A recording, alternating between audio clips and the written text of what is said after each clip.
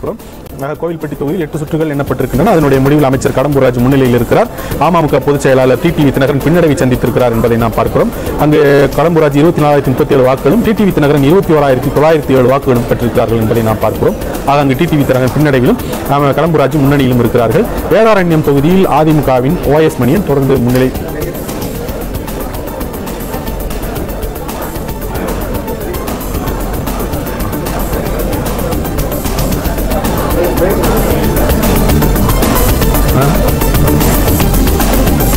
சாப்பாடுக்கு பிரேக்கா